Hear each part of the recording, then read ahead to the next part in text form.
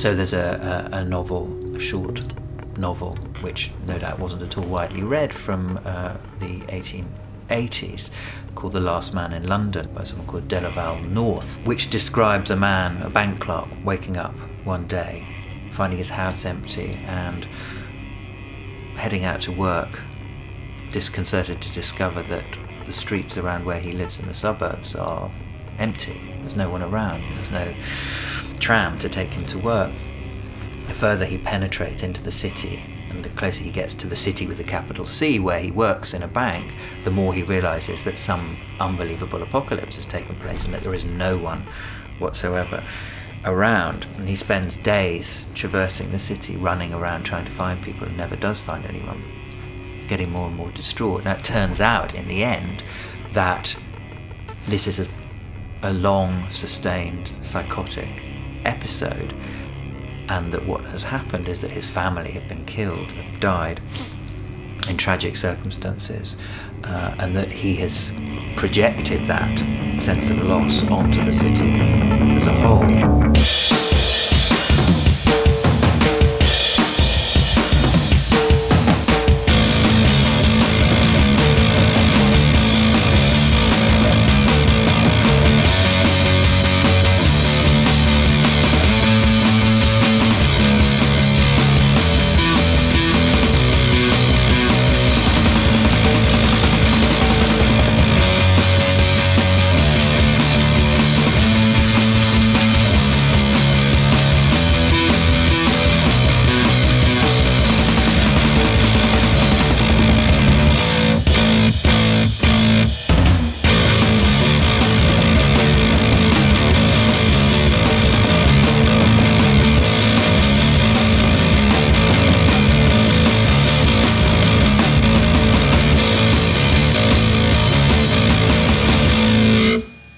I'm ambivalent about the city. I mean, I think in you know in many ways London is destructive and is wasteful and polluting and kind of grim. But at the same time, I kind of love it as well. I'm, I'm kind of in love with its anarchy and its its formlessness.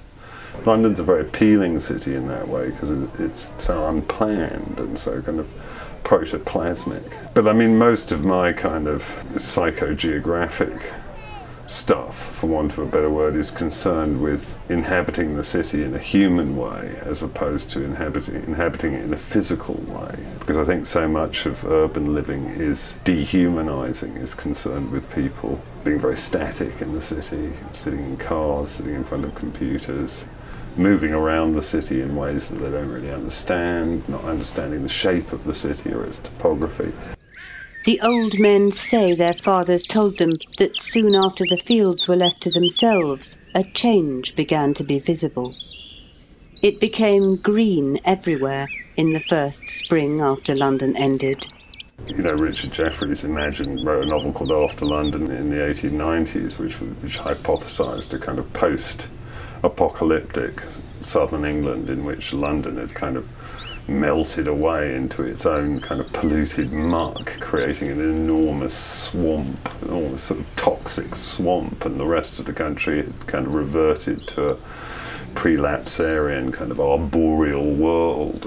All sorts of utopian thinking is quite clearly bound up with the idea of the end of the world, at least as it is now.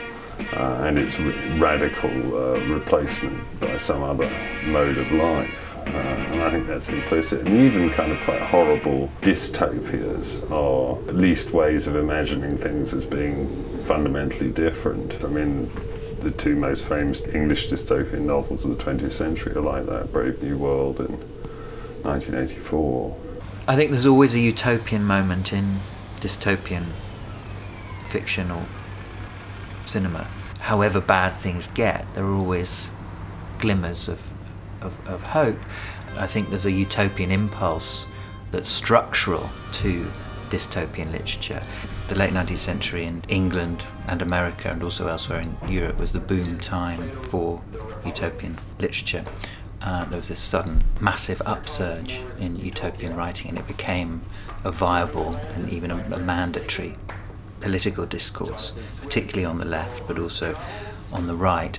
Not least because of the publication of a book in America called Looking Backward in 1888 by someone called Edward Bellamy, which started the whole trend really. And I suppose one of my arguments about utopian literature more generally, dystopian literature too, would be that it's always an attempt to historicise, that it always involves a, a look backward, that utopian and dystopian novels and films situate themselves in a more or less distant future precisely in order to historicise the present. The only thing wrong with the present is the bastard doesn't exist. Because the present is the future and the future is the past. And it's all the same fucking bag of bones anyway. But the present does exist. We're in it now. You were just then when you said it, but you're not in it now. You're not in it now. You're not in it now. You've never been kicked up the ass by the future. You with me? I mean, if you go back to the 19th century, you read Ruskin, for example, writing about the despoilation of the countryside by the expansion of British cities in the second half of the 19th century. That was felt at a visceral level, a level of a kind of visceral impact. In the 19th century, you have a shift from probably, I don't know, less than 20% of the population to more than 70% of the population living in urban contexts. By the time you get to the end of the 20th century, that's done and dusted. You know, most people sit in urban contexts, often living large part of their lives in, in virtual contexts you know, their sense of uh, environmental despoilation is very, very decontextualized. They don't really understand it within its context. Their encounter with the natural world is mediated through commerce and through film. They're not like Ruskin weeping as he sees a road being dug. I mean, lots of utopian and indeed dystopian novels build in a utopian moment which is centered on a tiny, more or less tribal band of people who represent the nucleus of the future society and who are microcosmic, if you like, who are sort of metonymic of the ideal society. So one might even take an example like The Day of the Triffids, which ends with the colonization, if I remember it rightly, of the Isle of Wight, an island off this large island, which represents the possibilities for repopulating and refounding society on new values.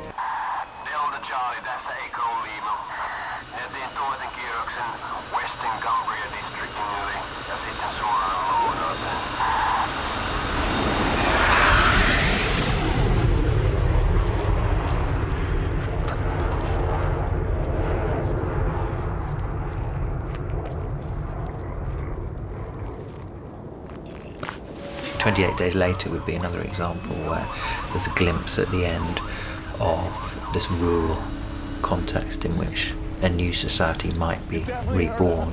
The horror of the overcomplicated city, which has been blessedly cleansed by rage, and that all ends up as this ruralist fantasy, in a, in a sense, about uh, the origins of a new, possible new society. Go. Jefferies often rambled up to the stone which stood under an oak to look at the chipped inscription low down, to London 79 miles.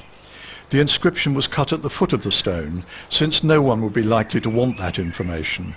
It was half hidden by docks and nettles, despised and unnoticed.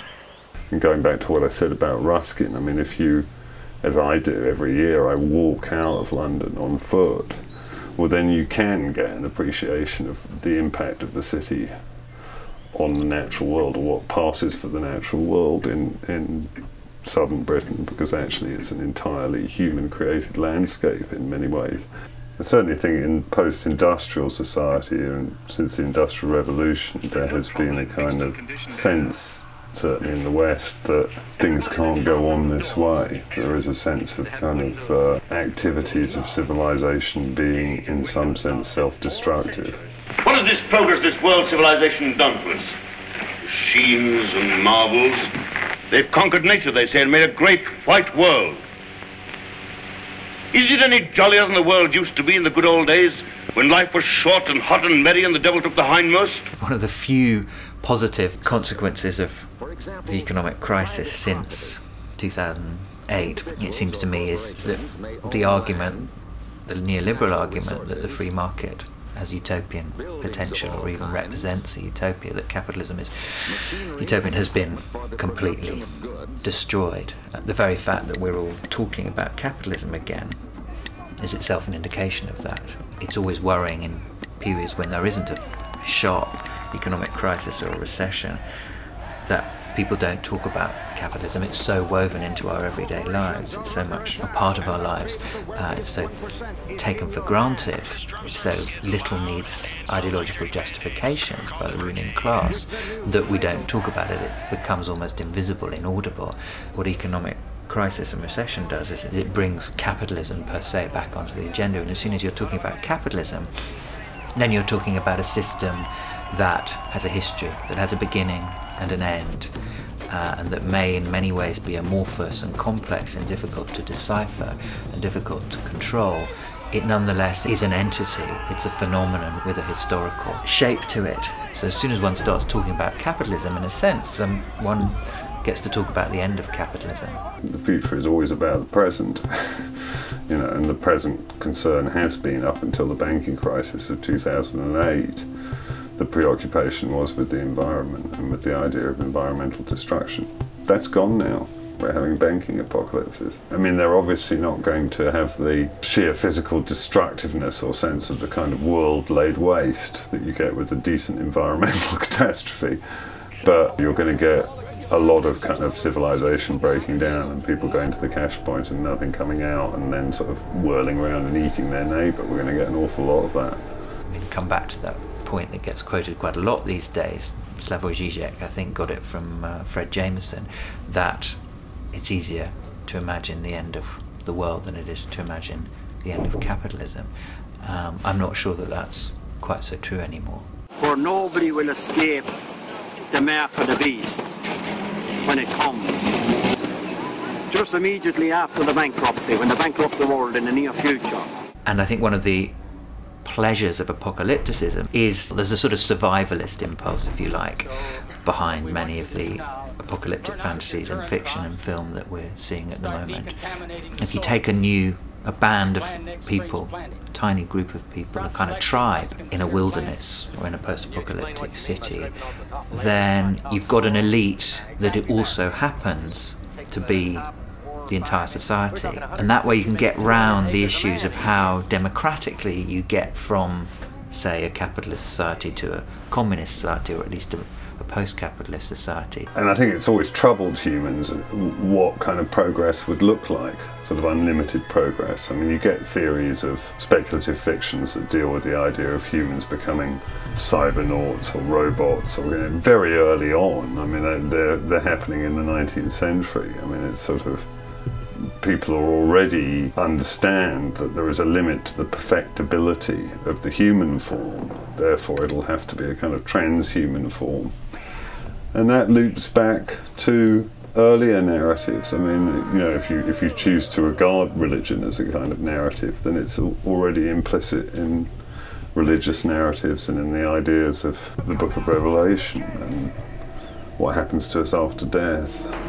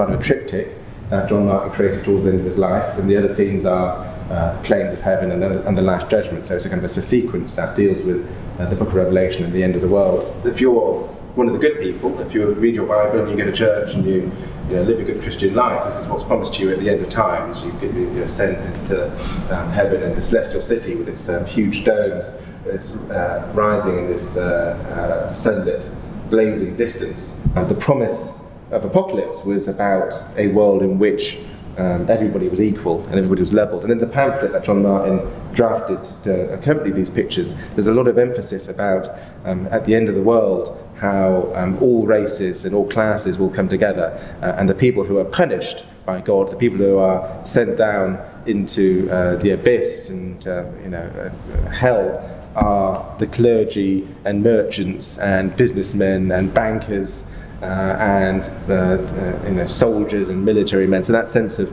materialists and materially concerned people, they go to hell. Um, the good people uh, are going to go to heaven.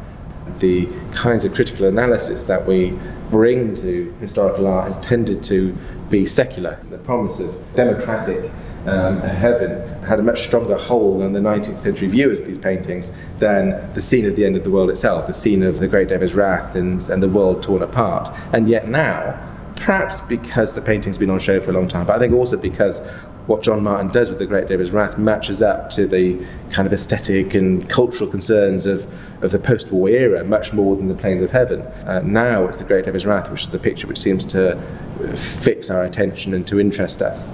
Religion has such a determinate influence on politics and geopolitics at present that in many ways notions of religious apocalypticism are probably coming back. And that's, if anything, more true of Christianity than it is of Islam, I'd say. I mean, if one looks at Hollywood disaster movies, clearly they are secular, ostensibly, but it would surprise me a great deal if America didn't produce apocalyptic fantasies uh, in mainstream culture in Hollywood, say, that weren't to an extent shaped by Christian millenarianism that uh, is a feature, for example, of the Republican movement. This 1856 Maryland history textbook contains a story about George Washington that you've probably never heard. It's a story of how Washington's life hung in the balance for over two hours and how that only by the direct intervention of God was it spared. We'll get to this story in just a moment. In the States, it's a kind of strange introjection of the concept of manifest destiny, you know, the idea that the American nation has a preordained destiny to be ever expanding and to be more powerful and controlling and is, is a kind of repository. You know, it's an eschatological theory, a theory of the end time of America, that it should have this. But again, you know, of course, it's, it's very much rooted and it's not without accident, the kind of concepts of the rapture and kind of fundamentalist Christian ideas of the apocalypse are very, very prevalent in American culture as well. I mean, we don't have, really have that kind of thing over here. At least not in quite that overt form. Where's the president, Sally? He said he wanted to spend some time alone. I think he's over at the chapel. He's got to go to church now? He's praying, sir, which under the circumstances is not such a bad idea. John Martin is an entertainer, and the way he uses apocalyptic theme and apocalyptic, apocalyptic imagery, it doesn't stem from any set of personal beliefs. I mean, John Martin was not a deeply religious or eccentrically religious person.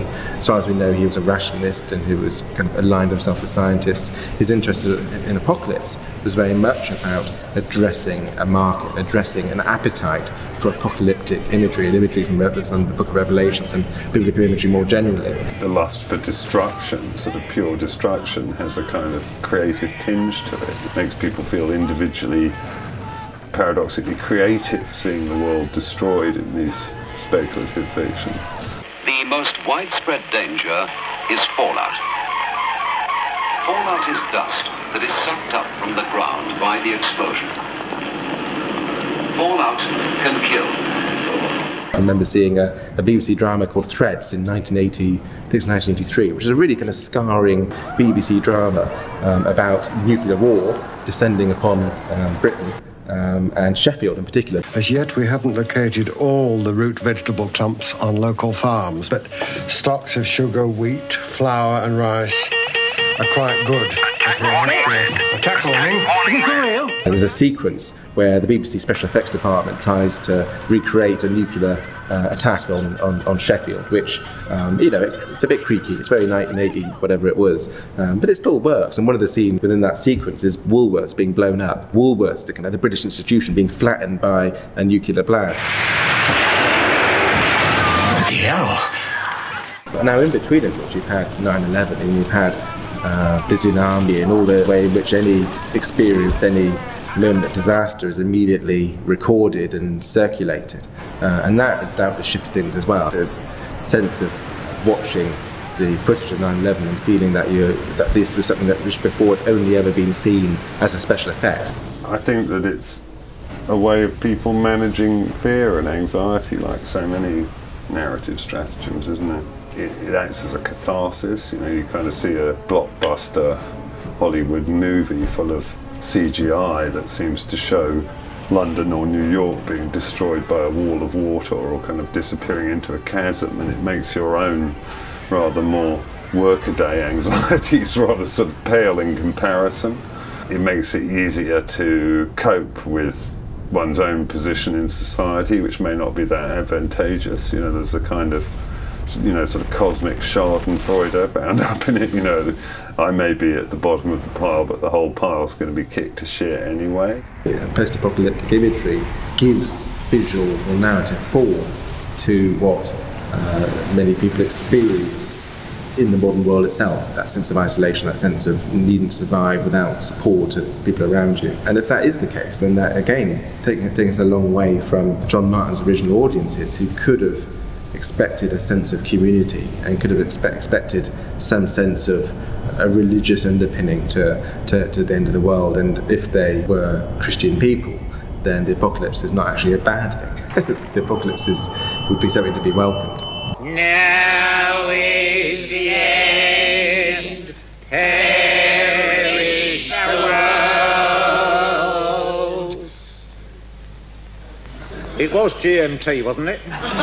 The idea of the apocalypse returns us to the body. But of course, our common understanding of apocalypse tends to be that even if it's going to destroy everything, there's some sense in which the material destruction takes primacy over the destruction of humans.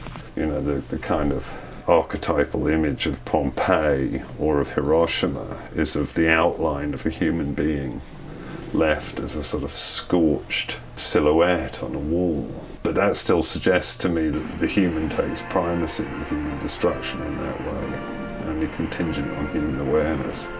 In other words, you have to have a human to see the human silhouette on the wall. So it's not really the wall that's survived, it's the idea of the human. I think that's why these apocalyptic narratives have psychological rather than practical meaning. It also, I think, is expressive of a of a longing to start again a sense that historically, and this is perhaps particularly pertinent at a time of global economic crisis, a sense that life, that the economy, that politics have become so elaborate, so over complex, that we need to start again.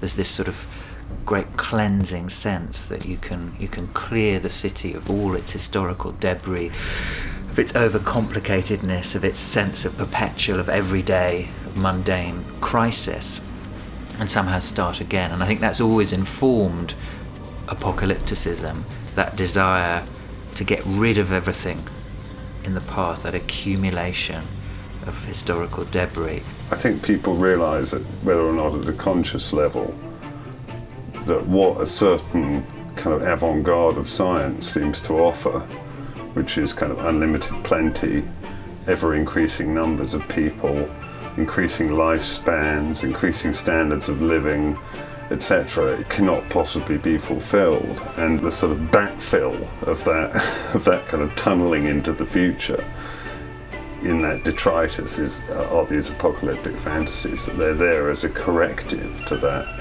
kind of view and as a way of understanding the kind of finitude of, of human endeavour.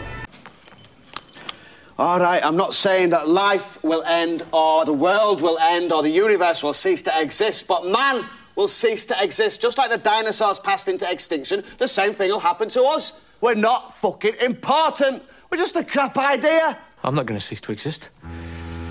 I'm going to be here in the future. What is this fucking fixation with the future? And I'd argue that London is about to be cleansed um, in class terms. That the you know the Tory housing policies, uh, the fact that all the rents are going to get pushed up, is going to mean that working class people are just not going to be able to live, uh, to afford to live in, in, in the centre of London. So the whole social configuration of the city, at the very moment when during the Olympics the city is supposedly showcased to the world, the whole configuration socially of the city and its its social topography and geography is going to be altered uh, for the worse.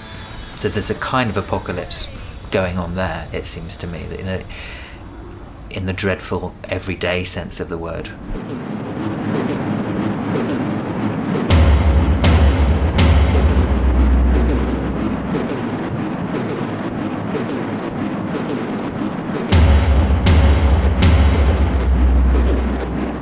While I think that apocalypse has been a perennial in culture, and I do think there's a significant shift from, as it were, God apocalypses to human apocalypses, on the other hand, in the post-Enlightenment, really since the, since the European Enlightenment, we're the only civilization that has considered or entertained or even swallowed entire the idea that we could just go on. All previous civilizations have accepted you know, that they would rise and fall. And the apocalypse in that context is, is actually perversely a way of glorifying Western civilization. You know, we, we're like the banks, you know, we're too big to fail. so, you know, what has to go with us is everything.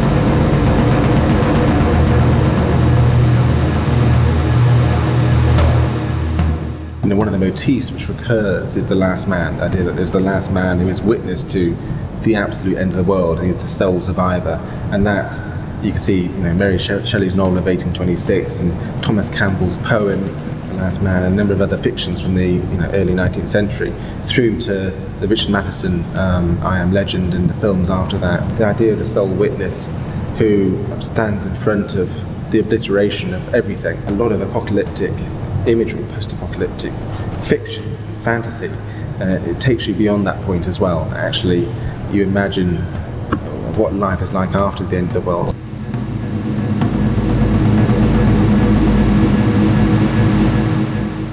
Apocalypse, if you like, is the collective realization of that. That's the point. It's the way of the entire species saying, "Ooh, look at us. We can imagine our own end. Aren't we great?" You know, that's the paradox of, of, of apocalyptic imagining. Is that apocalyptic imagining is actually bigs humanity up. The apocalyptic, as a form of cultural representation, is an indulgence. It is something that we uh, draw on as uh, one of the kind of core and most thrilling of our fantasies in, in, in modern life.